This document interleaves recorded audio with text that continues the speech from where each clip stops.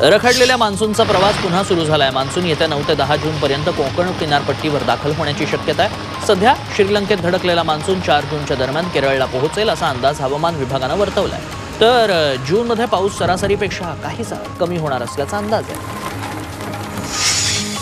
पुण्याला पावसानं जोरदार तडाखा दिला. पुण्याच्या बाणेर भागात वादळी वाऱ्यासह गारपीट झाली आहे या पावसानं उकाड्यातनं त्रासलेल्या जनतेला काही अंशी दिलासा मिळाला. त्याचवेळी नागरिकांची तारांबळही उडाली.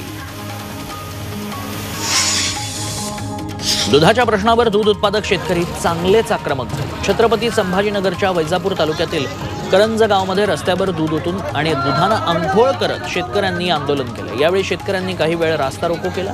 दुधाचे भाव घसरल्यानं दूध उत्पादक शेतकऱ्यांमध्ये नाराजी आहे. लातूर जिल्हा कृषी अधीक्षक कार्यालयातील अधिकाऱ्यांच्या रिकाम्या खुर्चीला शेतकऱ्यांनी निवेदन दिलं. रेणापूर तालुक्यातील अनेक शेतकरी अजूनही पीक विम्यापासून वंचित आहेत. ते सगळं ठीक आहे ना?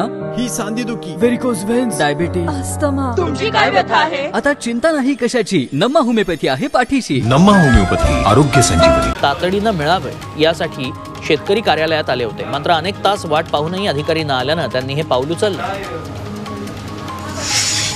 भंडारा शहराला अपघात मुक्त करण्यासाठी पोलिसांनी अनोखी उपाययोजना केली आहे. यात रस्त्यातील तोकड्या जागी हिरव्या जाळीचा दुभाजक तयार करण्यात आलाय. त्यामुळे शहरातील वाहतूक सुरळीत सुरू झाली असून सर्व गाड्या एका रांगेत धावू लागल्यात